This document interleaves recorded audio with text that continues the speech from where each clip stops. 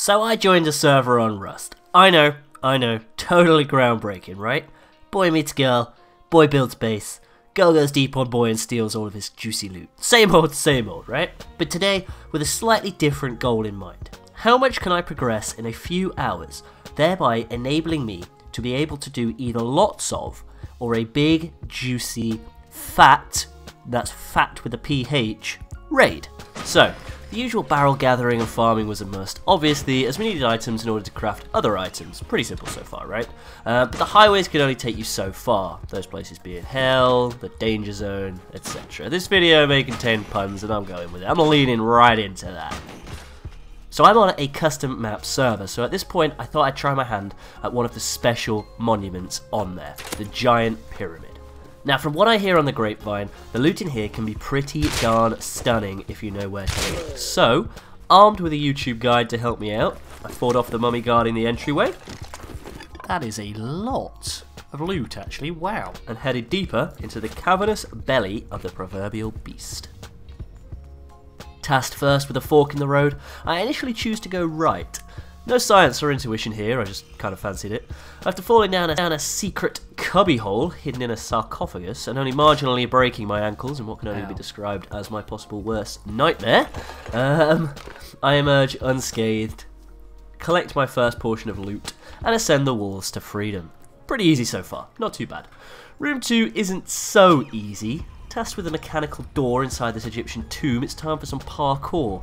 Following a couple of very near misses and blood splatters, third time's the charm as we ace it pretty quickly. Gets us our first proper hint of decent loot. After we dodge past the booby-trapped Tesla coils, of course, which are no fun and cause me quite the difficulty. Oh.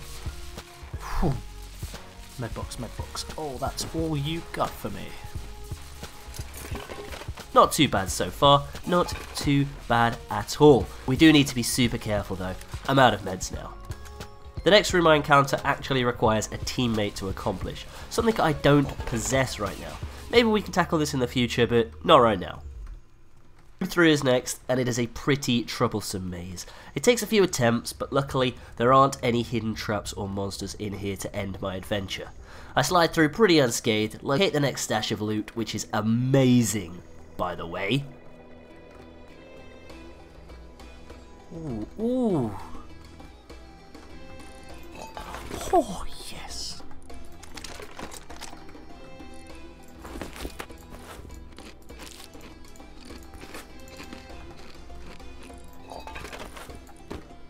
And head on over to the next room. Now the big parkour room is left, and I must say I was dreading this one. Taking one look at it shows me we are most definitely going to require some more meds here. Far from home and just happy with, with what we've got so far. I elect to loot scoot out of there. This is about all the loot we can get playing solo from this place right now anyway, so I think this is the best alternative. While leaving my base and finding some weird Asian sleepers on the ground,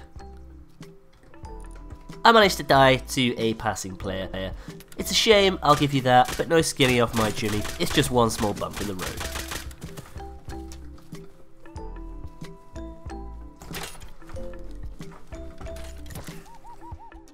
For the next period of time, I just chance my hand at a number of the lower tier monuments available on the server. Right now, I'm essentially on the lookout for some better weaponry and raiding utensils. My plan is to farm the low tier monuments in order to snowball onto perhaps some of the bigger targets, and holy cow, that's a roller coaster, how cool is that? And what is this down that here? That is an amusement park, a theme park, a carnival. Holy crap. Tell you what, the people that come up with this stuff, man, it is insane. Oh, another roller coaster, love it. That is sick.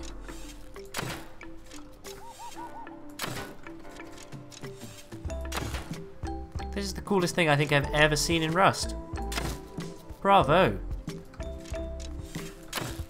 Unfortunately, as cool as it was, the fairground didn't possess much. So, home time.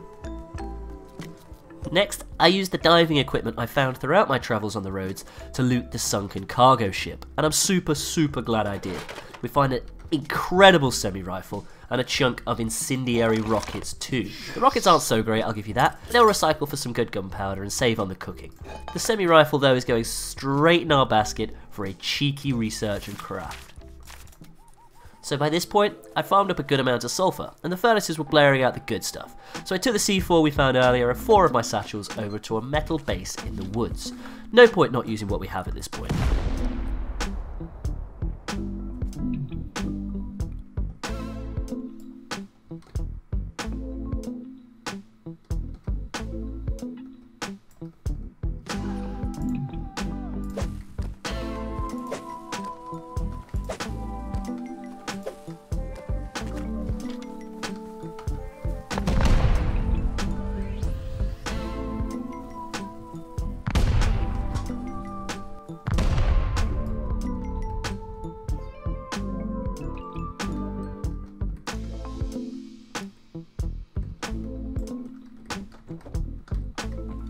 One C4 and four satchels later. Oh, and once I burn through the TC slapped the door down too. Okay, what do we have in here? Okay.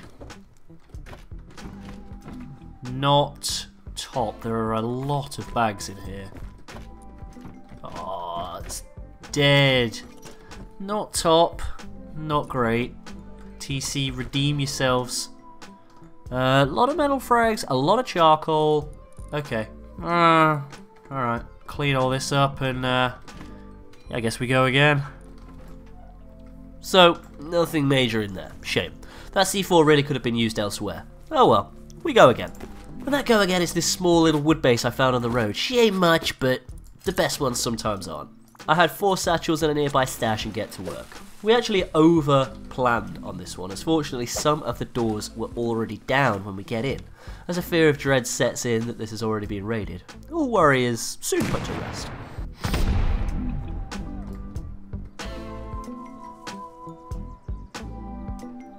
Yeah, that's what I thought. Okay.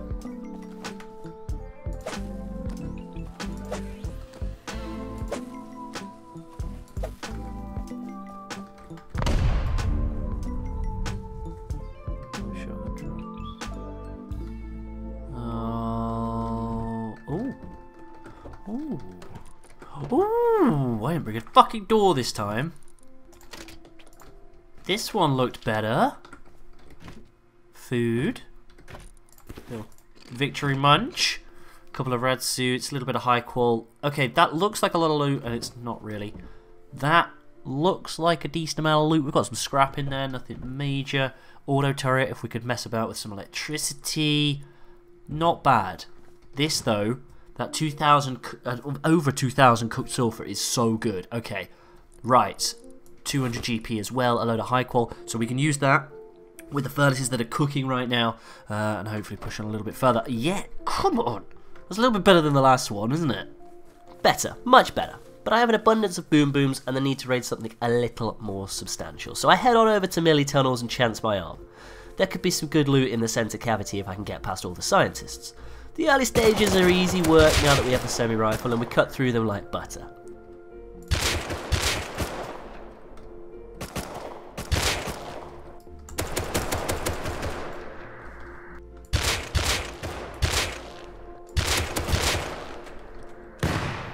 However, we may have perhaps become deceased as a result of a rogue grenade, but uh, no matter. We grab the loot in the end on our return, and it is god awful in the scheme of things. Maybe we try again later, we'll see. Hmm. Some low cost, very low profit raiding later, and my patience is well and truly tested. But it's all for all part and parcel of the cause.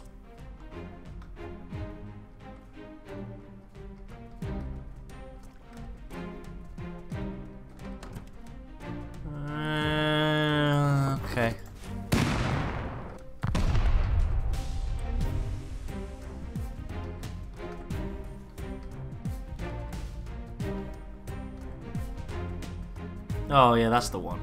After countless hours, minutes, maybe even days, time is relative to me now. Crafting is completed, and I'm in search of a base to raid, and I stumble upon this beauty right here. Next to oil rig, she could be the one. I actually brought 10 satchels because I thought I'll go through one of the back walls, but with your often severe comments ringing true in my head, That's a boat section then. the doors prove a more attractive proposition this time.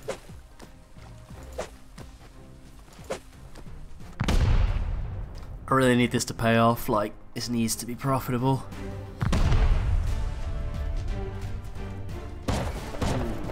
No, no, no. Poor placement. I brought 10. Oh, that's poor. That was a poor, poor throw.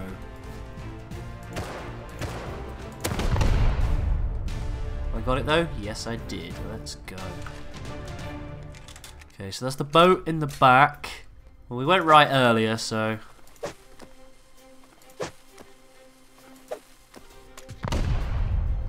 Come on, TC.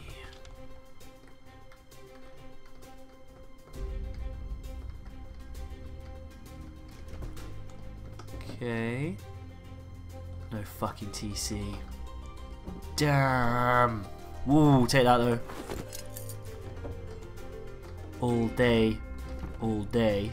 Sulfur out the fucking arse. Let's go. Okay. We have to get in that door. We have to. It's going to take me a hot minute to skip home, grab the stuff, come back, craft four satchels. That's fine. Wait till morning. We're all fine. We're all friends. Fuck. That's fine. This is what we prepare for. Whoa! Don't lag me around like that game. My game be lagging all over the shop. As you probably would have guessed, that lag caused me to misthrow that satchel. Uh, and me to die. So, gotta go make another one. Alright, let's go. Once bloody more. Unto the breach.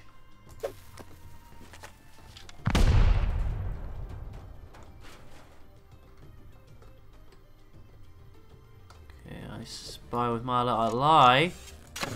Someone's TC. Jiminy Chillicas, 382 scrap, not too bad. Fuses, a little bit of crap. Ooh, guns. A thousand low grade. Let's go. That's what we wanted. That's what I thought there could be in here. Living next to oil rig. I won't lie, I was hoping for more. And that is not great. Ooh. Pat on the backs all round. Clearly, clearly a group of three as well. All in all, an amazing day had by me, and great fun too. Snowballing from nothing to something on an interesting and extremely fun server is awesome. It was very quiet this week, I'll give you that, but I'm hoping it'll fill up a bit more now the holidays are over. I'll drop the details of the server in the description if you guys want to check it out. It's the one I played on last Wipe 2. You can come and find me on there hopefully at, at the Wipe. Um, it'll be a hoot. And while I have you, what did you think to this new starter video? Did you like it? Let me know in the comments, or just drop a thumbs up. It really helps out the channel and shows me you want to see some more. I'll be hopping on here a lot more soon now that I have the necessary BPs, and we can hopefully push on for a rocket raid in this style soon too. Anyways, I digress. My been Tilz, and I'll see you very soon. Have a great day, guys. Peace out. Scary thoughts, I got scary thoughts. Lost control, now I'm taking charge. Breaking bills, friends breaking off. You could be the youngest, I'm the dawn. Kiss the ring, nah. In the scene like GOT. Stay awake, don't sleep. Like Jon Snow, get RIP.